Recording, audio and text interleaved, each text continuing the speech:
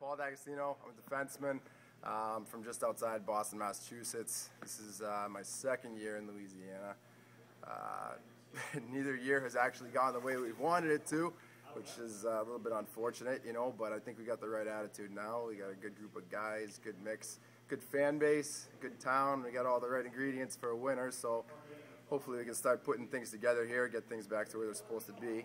I started playing hockey when I was five years old, absolutely hated it, uh, quit, started up again when I was nine, and I'm embarrassed to say it's because of the movie Mighty Ducks. Uh, I know that's pretty bad, but it's true. I went to high school in Boston, uh, Catholic Memorial. It's like a big time like high school back there and everything. And had a great four years there. Went on to college at uh, UMass Lowell for two years, and then uh, decided to try my hand at uh, pro hockey after that. It was a little early for me.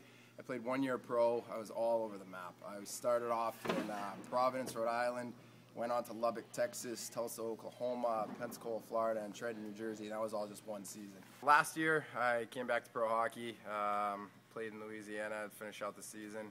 Came back here this year. I love the town. It's actually really similar to the college town I went to in Canada, just with all the, uh, you know, all the fun, plenty of trouble to get into. I wish the team I wish the team had won more games this year. Obviously, that's the number one goal, and uh, you know we haven't been doing it, but we do have a different attitude now. We got a new coach in here and new group of guys, and uh, I think it's funny. We've had like what, like six guys left from the start of the year, which is you know kind of crazy. That doesn't happen on most teams, but I think we got a good mix now. Um, you know, I just wish that me personally, even I wish that I would play tougher.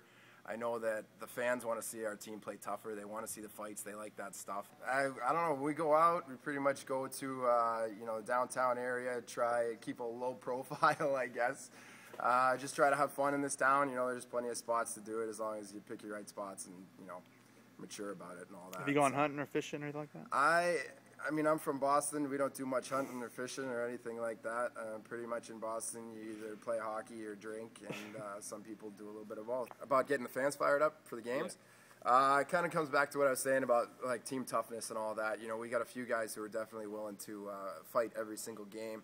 I know my roommate; he's kind of a psycho, and he like he lives for it. You know, but uh, I know that, like I said, myself personally and a few other guys definitely capable of doing it. And uh, I think if we do that, going to start to fill this place a little bit more.